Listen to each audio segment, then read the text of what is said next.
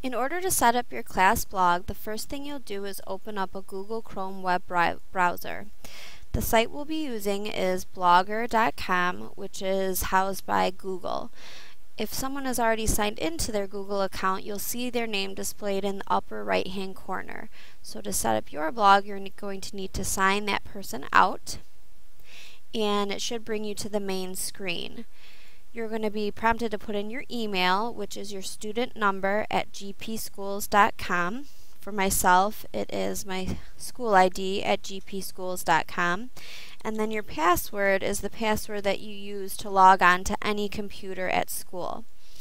Once you're into the Blogger site, if you've created a blog in the past under this account, you'll see the name listed here. This is my class blog. But if you've never used it before, uh, you're going to be creating a new blog, which you'll click on the left-hand side.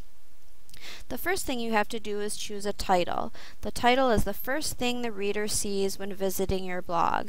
You want to choose a name that reflects the purpose of your blog and something that your readers can relate to.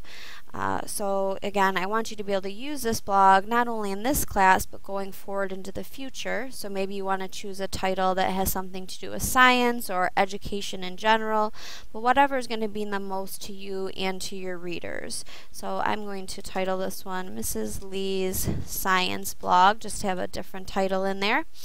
The next thing you're going to choose is your blog address. This is what people will type in to get to your blog, uh, or otherwise the URL. You should pick something short, easy to remember, and something you can use for several years. If the address you want to use isn't available, you might need to choose a different one or alter your initial address. So if we type in, mine currently is Lee Chemistry blogspot.com and you can see sorry this blog address is not available. So I could add a two or uh, another name entirely. Once you found something that is available you will see this blue uh, check mark here and you're good with your address the next thing you're going to pick is a template. The template controls the look and appearance of your blog, and it's one way to give it a more personal touch.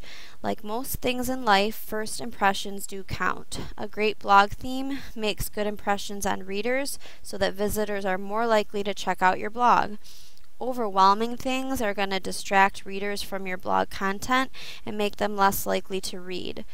Each newly created blog has the same default theme. The last thing you want to do is to look like all of the other blogs. Uh, so I'm initially going to choose the picture window as my template and I've made all my selections and so I'm going to click on create blog.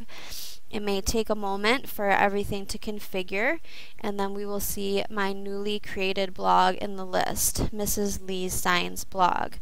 Um, now to preview what your blog looks like, you're going to click on the View Blog and I can preview my template. If I don't like the template and I would like to change that design, um, you can go back to your main dashboard there and click on Mrs. Lee's Science blog and you should be able to alter the template on the left hand side.